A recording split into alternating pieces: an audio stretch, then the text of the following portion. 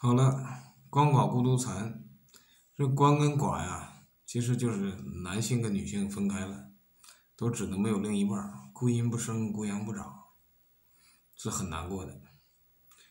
说你研究这一行，你整天就钻这些东西，本身这跟现实当中啊，它虽然是根本的道理，但是直接的一些现成的东西啊。他那个道理他说不清，他不是马上来运用的。你当然知道它是一个道理，所以把它定为这个偏门啊。虽然它是根本，好像感觉你老是剑走偏锋、旁门左道啊，不务正业，多难听的都出来了。所以这种人，你想找的另一半，他研究的本身就很少。又不为社会主流，很多人会看不起，自以为他好像什么都不是。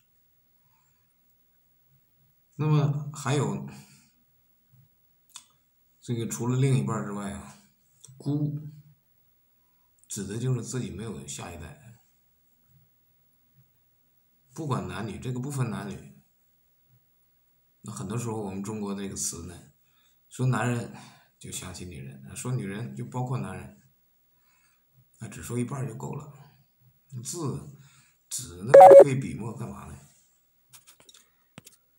现在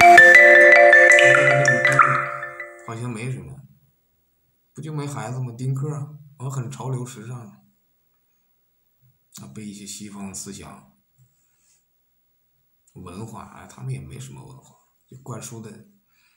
被他们那种经济、科技、所谓现代化的这种生活影响的，到头来过得实在不幸福。认为养孩子是累赘，你穷可以穷养嘛，你志气不要穷他，精神富养他就好了嘛，根本都想不通。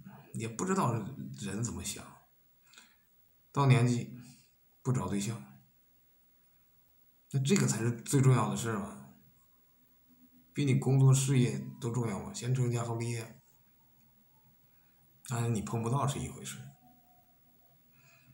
啊，找了对象又不结婚，结婚又不在一起。在一起又不生小孩你看麻不麻？你看现在人都搞的这些东西，很时尚，来呀，不行再来一个，再结一次，怀了孩子打掉，你这都在搞这些东西，你不知道那些阴债那些牵扯你的，那你万劫不复啊！你回去就知道了。来不及了。你说我不懂，那不懂，真的有那么笨吗？那你看别人，你还学不会吗？那你笨也要交智商税啊，就是这样。你不懂，出了车祸撞死人就不负责任了吗？那有些不懂，他是代价很大的。你说我不满十四岁，那不满十八岁，总可以了吧？阳间法管不了你，有自有阴间。其实我们小孩很小的时候就开始懂事只是他那个时候不会说，不善于表达，不敢说，迫于环境、父母压力。但他心里什么都懂，尤其特别重要的是，他好的坏的都会记一辈子，那对他影响很大的。我们现在讲就是神经树突，那时候起了结，已经有心结了。所以结婚就是问题，然后生孩子。